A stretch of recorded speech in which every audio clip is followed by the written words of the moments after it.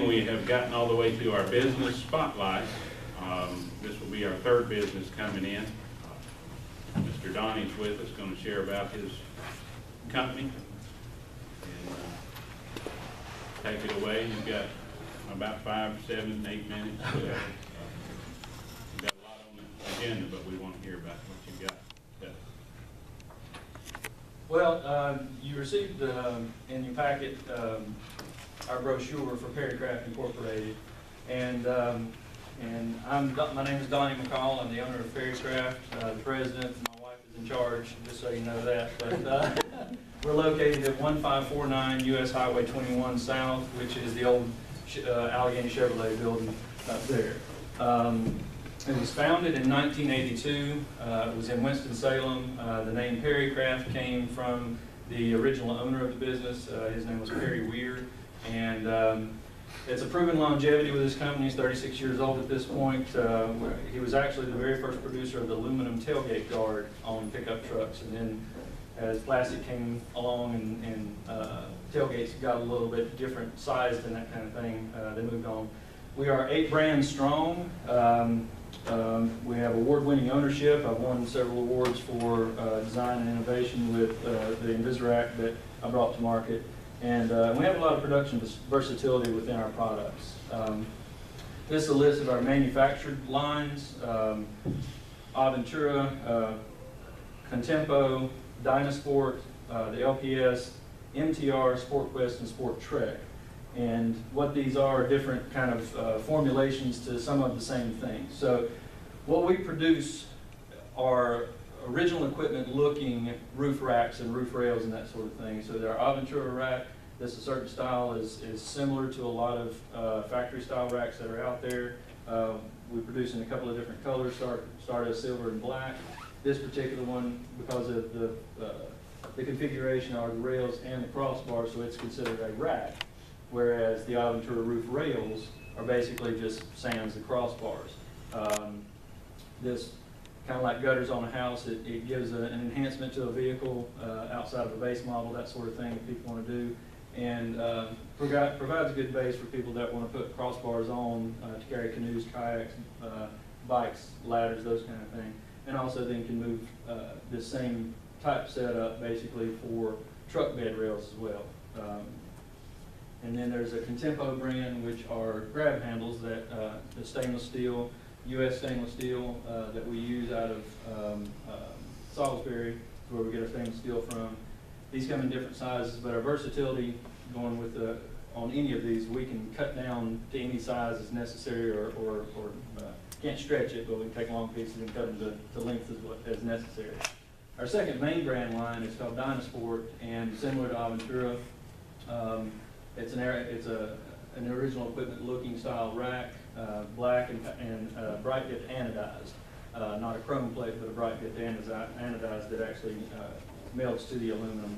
Um, and as it says, over hundred stock sizes available because we're a length, uh, and width. We're not vehicle specific, we're, we're size specific. So we can, uh, if you've got a van and you wanna put something on and we don't have it in stock, we can certainly make it. If it needs to go on, could almost make one go on four-wheeler even, but, um, and then similar along the lines here, the, the roof rails are just minus the crossbars, as well as truck bed rails as well. Uh, we do a, a line called LPS, low-profile slotted bed rails, that are one-piece aluminum anodized, um, tempered, that comes in several different lengths to whether you have a, uh, whatever length of tr- truck bed that you have.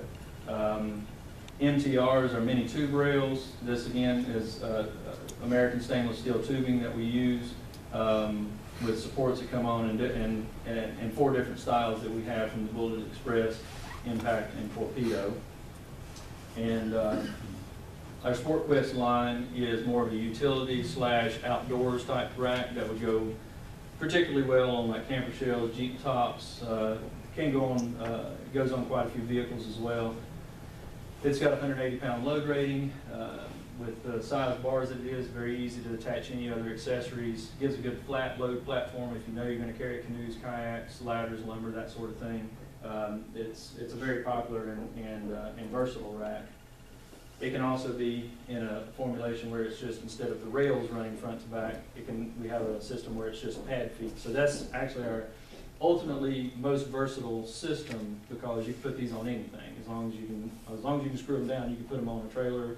Um, I've even seen where people hang them on the wall so that they can hang clothes on, for that matter. It's, it's, uh, it's very versatile. Um, our clamp mount, again, another thing we manufacture, that if you already have rails or decide to buy our, uh, our, our, our roof rails, these can span across to be able to give a, to give a load platform, and these can work on factory-style crossbars as well as our, our own. Um, and the final rack is our Sport Trek roof rack, and a, and a similar factory-style, where we're able to use the tracks from the Sport Quest, the crossbars from what the Aventura and Dynasport use to create another brand. So we're able to kind of move around, and really the only difference being the, uh, the feet that, that slide along the rails there.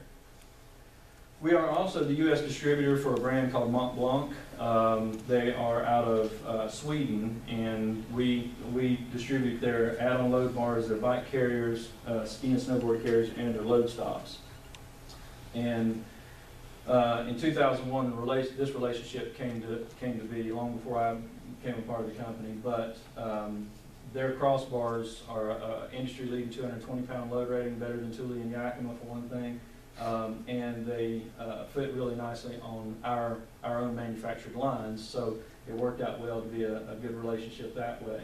Um, and it includes two bars, locks and keys already included, and, and actually that was where uh, the, the, the second owner of the business, Dan Epting, who I bought the company from, my wife and I bought the company from, um, he, um, he kind of got this relationship going and actually created something to where it, uh, it put it in as a package. If you, if you know Yakima and Thule at all, you know that you have to kind of build their products and it ends up being five hundred dollars where this is all one unit and, and costs quite a bit less. But we also have bicycle carriers, a, a, a classic style and a, uh, the Barracuda brand is very popular, uh, in that you can put the bike in there, mo- remove your hands and be able to do all the strapping down and that kind of thing.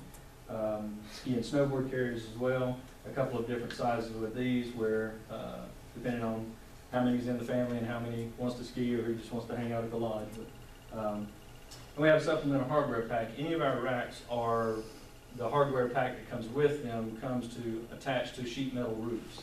Um, But we also have this supplemental hardware pack that works with, um, whether it's a camper shell, tonneau cover, plastic composite roofs, those kind of things, or with like vans that you have access to the, to uh, there's no, with, a- with no headliner. So all of our products are mounted without having to remove the headliner unless it's something specifically that you want to, and this would be our hardware uh, kit to be able to do that. So um, we distribute around the country. We're, uh, it's a, um, um, our next thought process and, and what we're planning right now is that uh, eventually, within this next first, first or second quarter of next year, to actually have installs done and by appointment to be able to, um, uh, to install our racks around, uh, around here. We put an ad in the uh, upcoming Chamber of Commerce um, magazine and uh, taking a step out into a foray. Because right now, we don't require, we're, we're, we're not relying on retail or anything like that within Alleghany County, but um, we also recognize that people will leave the county to go get something. So if we can provide a service, then we're also going to try to do that. I know that went thirty-five minutes, but I'm glad. You have a lot to cover. Yeah.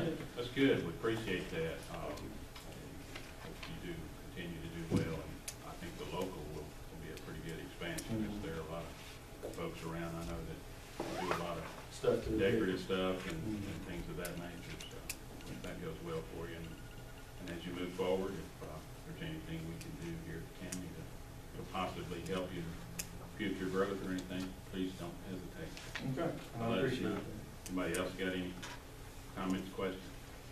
Donny, how many, do you have several employees, any employees? Well, there's four employees, but that includes my wife and myself. Uh, we have one full-time and one part-time right now. And, um, as, as efficient as those guys are, we're probably still only operating at about forty percent capacity of what we could do. So, you know, sales, sales cures all ills, as they say, in a lot of ways. So, uh, I'd love to increase our sales it'll take a while, but I- before I necessarily need another person, uh, if sales did increase. Um, But certainly would look to, uh, to change that. I've been meeting, uh, Mr. Cavney, and I, uh, brought, a- he brought a guy from the EDPNC, uh, Economic Development people, and we're gonna, we're talking about, we, we export as well to, uh, we have a couple of customers, um, one in Denmark, and, um, and want to grow that expansion as well for the exporting of US goods out.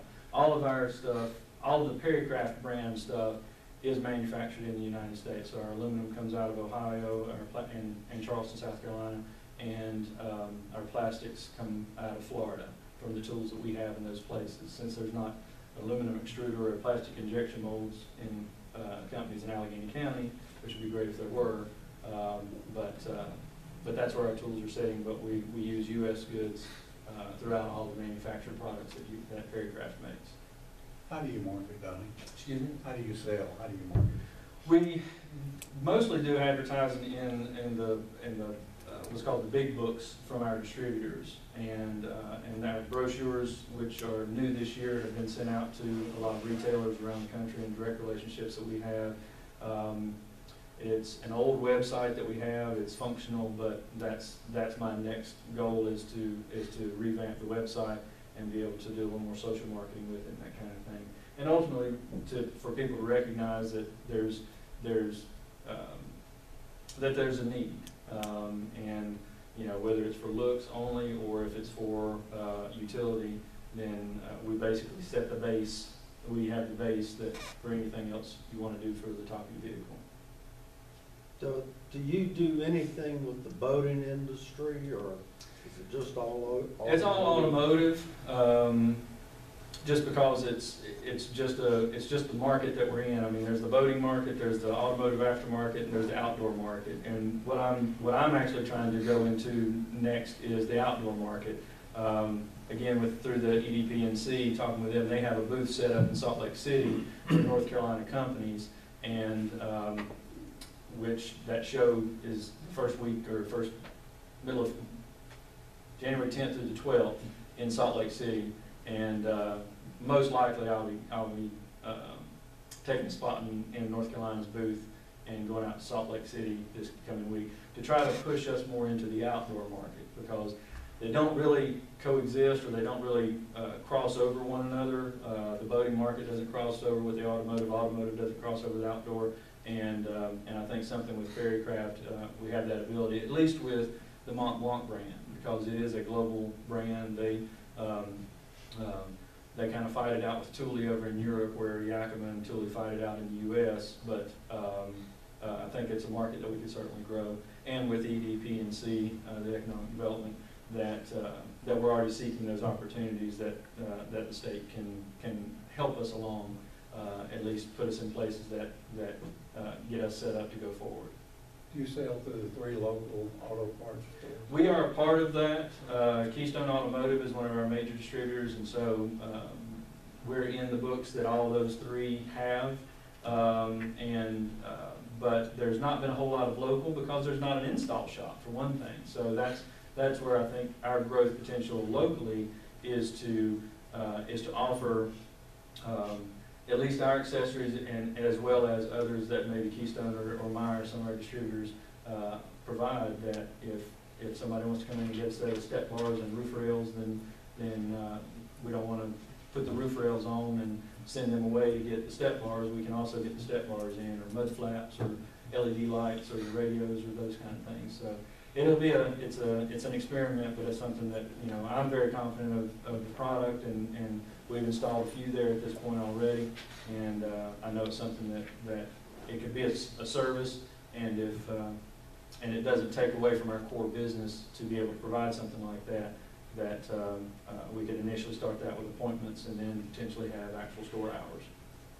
Well, thank you for coming in and sharing that with us. Our, all of our businesses are invaluable, large, small, in between, so wish you the best of luck. and Let us know if there's anything we can do. Thank you, I appreciate your time. Thank you.